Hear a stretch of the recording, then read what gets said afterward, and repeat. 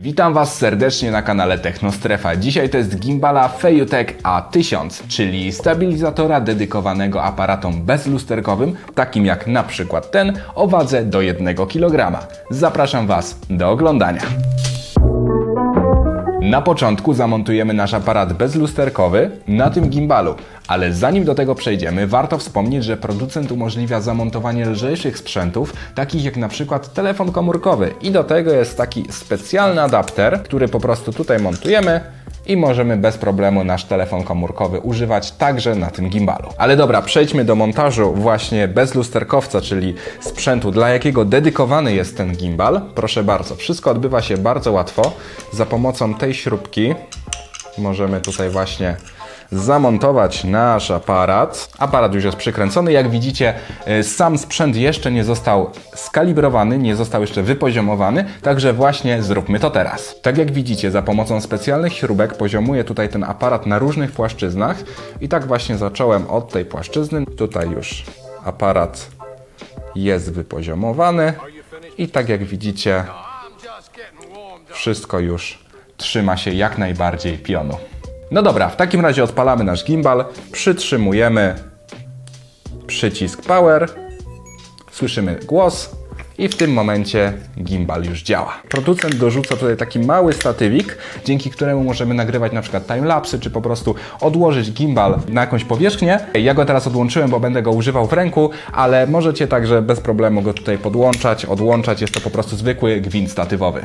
Tutaj mamy aluminium oraz gumę, dzięki której nie ślizga nam się on w ręku i możemy precyzyjnie po prostu nasze ruchy wykonywać. No jest to ogromna zaleta. Pamiętajcie, tutaj jest wersja z jedną rączką, jest także wersja z dwoma rączkami, dzięki czemu podczas dłuższych różnych ruchów kamery jest jeszcze wygodniej niż w przypadku tutaj pojedynczej. Warto też wspomnieć, że producent dołącza do zestawu specjalny przewód do spustu migawki. Niestety jest on jednak przeznaczony tylko dla aparatów Sony, także w przypadku naszego Panasonica niestety on nie działa. Za pomocą tego gimbala nagraliśmy już parę bardzo fajnych produkcji filmowych i to wszystko dzięki jego łatwości użycia, ponieważ tak naprawdę starczy tutaj włożyć kamerę, wypoziomować ją, a sam gimbal już wie i dokładnie dostosowuje sobie swoje silniki do ciężaru danej kamery.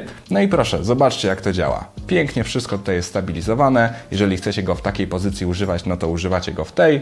Starczy go również przełożyć i już możemy go ten sposób tutaj używać. Pewnie zastanawiacie się teraz, jak te wszystkie ujęcia zostały wykonane. Już śpieszę Wam z pomocą i opowiem Wam trochę o tym panelu. Ok, zacznijmy od joysticka, którym możemy ruszać kamerą w czterech płaszczyznach. Następnie warto powiedzieć o przycisku Mode oraz Power. Dzięki niemu włączamy gimbala oraz przełączamy tryby. Spust migawki, który tak jak już wcześniej wspomniałem, działa tylko ze zgodnymi aparatami. Najpierw po włączeniu gimbala uruchamia się tryb PAN, w którym mamy to zablokowaną oś góra, dół, a odblokowana jest oś lewo-prawo. I tak jak widzicie, ruszając ręką, po prostu gimbal podąża właśnie w tym kierunku, w którym kieruję go. Następnie klikając dwukrotnie przycisk Mode, włączamy tryb podążania w osi góra-dół oraz lewo-prawo. Zresztą zobaczcie, przesuwam go teraz lewo oraz prawo, on podąża za moją dłonią i teraz dół oraz góra. Zobaczcie, aparat również podąża za moimi ruchami góra, dół. Trzeci tryb to tryb zablokowanych wszystkich osi. Przytrzymując trigger, który znajduje się właśnie w tym miejscu z tyłu, zobaczcie, Teraz po prostu kamera jest zablokowana. Obraz cały czas jest w jednym miejscu. Jest to również bardzo przydatny tryb, jeżeli na przykład chcecie skupić się na danym obiekcie i po prostu podążać za nim tylko w zablokowanej osi. Ostatni tryb ja nazywam go dla vlogerów, mianowicie klikamy trzykrotnie przycisk Mode i zobaczcie, kamera idzie na nas, możemy teraz mówić właśnie do kamery, vlogować, odchylić sobie ekran o ile taki mamy.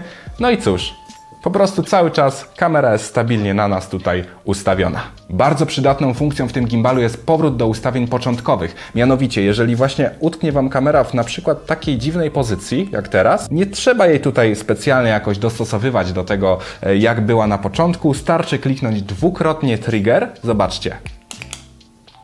I kamera wraca do położenia początkowego. No dobra, tyle z najważniejszych funkcji tego urządzenia. Przejdźmy zatem do ostatniej kwestii, czyli baterii. Według producenta ma ona starczyć aż na 12 godzin na jednym ładowaniu. No cóż, wszystko zależy oczywiście od wagi sprzętu, jaki na niego włożycie. Jeżeli będzie to lekki telefon lub kamera sportowa, oczywiście gimbal zdecydowanie dłużej będzie go potrafił obsługiwać, a jeżeli będzie to już cięższy, na przykład bezlusterkowiec, który w tym przypadku waży około 800 gramów, no oczywiście gimbal wytrzyma trochę mniej. Natomiast jeżeli chodzi o jego zasilanie, tutaj zdecydowanie muszę powiedzieć, że producent bardzo dobrze przemyślał sprawę, ponieważ nie mamy tutaj wbudowanego akumulatora, a uwaga, dwa akumulatory, które możemy łatwo wymienić i naładować w zewnętrznej ładowarce. Oczywiście w zestawie je otrzymujemy, otrzymujemy także w zestawie ładowarkę. Po prostu bez problemu możemy wtedy w pracy na, na planie filmowym czy po prostu w innym miejscu zmieniać je, wymieniać łatwo i gimbal jest już gotowy do pracy. A jeżeli nie macie akurat przy sobie ładowarki, oczywiście tego gimbala możecie naładować także za pomocą zintegrowanego portu micro USB właśnie w tym miejscu. Na koniec warto powiedzieć o dedykowanej aplikacji Fail On, dzięki której za pomocą smartfona możecie sterować gimbalem we wszystkich pozycjach. Zresztą zobaczcie jak to działa. Po prostu przesuwam joystickiem i kamera właśnie podąża w tym kierunku, który wskazuje. Najważniejsze ustawienia, jakie możemy zmienić w aplikacji, to przede wszystkim moc silnika, ustawienia trybu follow czy ustawienia joysticka, a także kalibracja, no i gratka dla wszystkich, którzy lubią timelapsy, mianowicie ustawienia autoobrotu.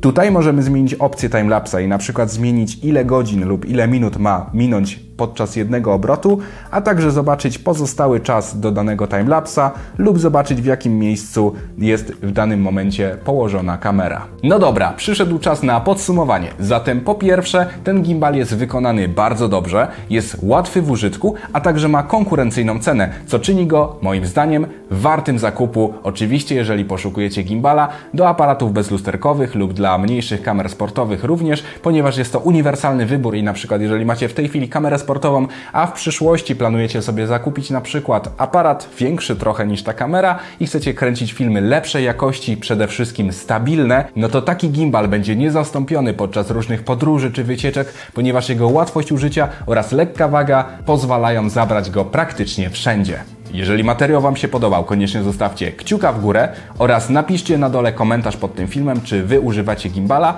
a może chcecie właśnie zacząć przygodę z prawdziwym filmowaniem, wystabilizować swoje filmy, aby wyglądały jak najlepiej, koniecznie podzielcie się z tym właśnie w komentarzu na dole. Trzymajcie się tymczasem, papa, na razie.